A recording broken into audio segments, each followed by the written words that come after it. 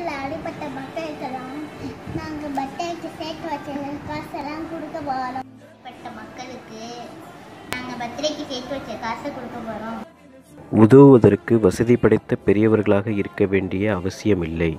நல்ல மனதுள்ள யார் வேண்டுமென்றாலும் உதவலாம் என்பதற்கு இந்த சிறு குழந்தைகளின் செயலை எடுத்துக்காட்டாகும் நம்மால் முடிந்த சிறு உதவியை பிறருக்கு செய்ய வேண்டும் உங்களால் முடிந்த சிறு உதவியை கேரள மக்களுக்கு செய்யுங்கள்.